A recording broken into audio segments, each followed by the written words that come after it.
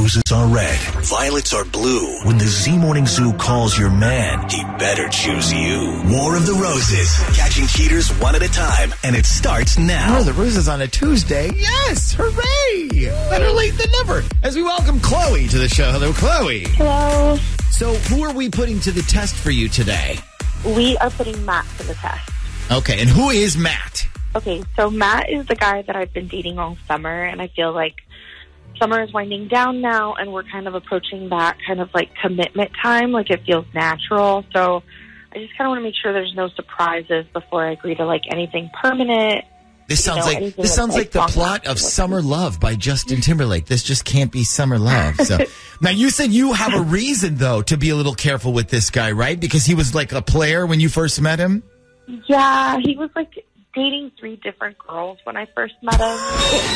Oh, One so after the okay, other. so he was a player, but but since he met you, it's been just you two. Yeah, it's basically just be me. It's been me and him, and at this point, it's like neither one of us has really brought up the whole like relationship thing because everything's been kind of going so well and having like day to day fun. So I just didn't want to jinx it, you know.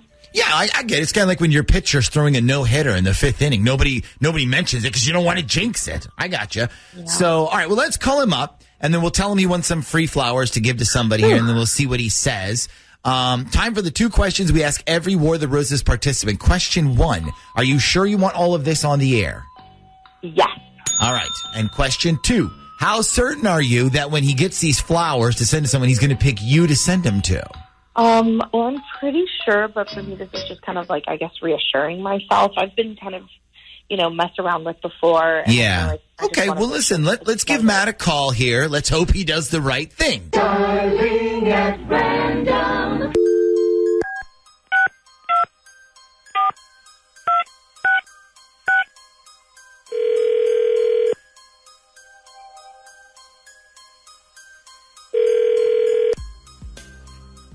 Hello, Yes, can I speak to a Matt, please?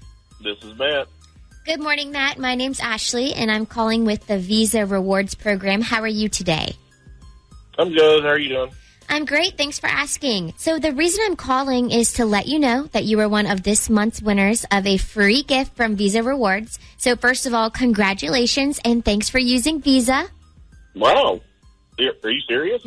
Yep, every month we draw a bunch of names from people who have Visa credit cards or debit cards, and this month your name was one of the winners.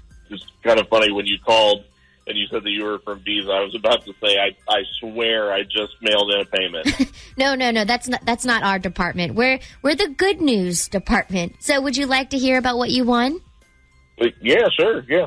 Okay, so this month's prize is a beautiful bouquet of red roses that we send to your home. But the reason I called you first is usually a lot of our winners who are men have been asking us to send the flowers to their wives or girlfriends instead as sort of a, a surprise. So is that something you'd like us to do with yours or do you want us to send the flowers directly to you?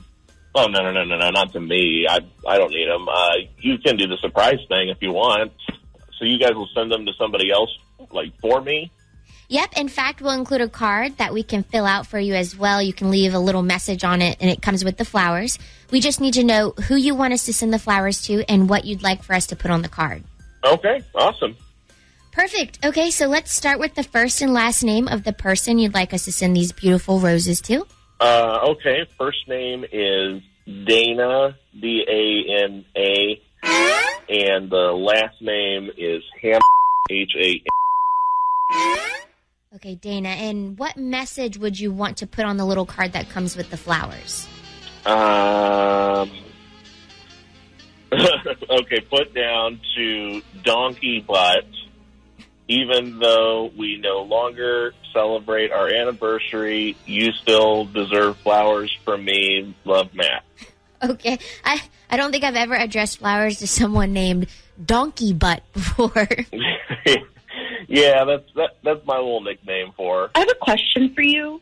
Is there a reason you've been dating me all summer, but you still feel the need to send flowers to your ex instead of me? Hello?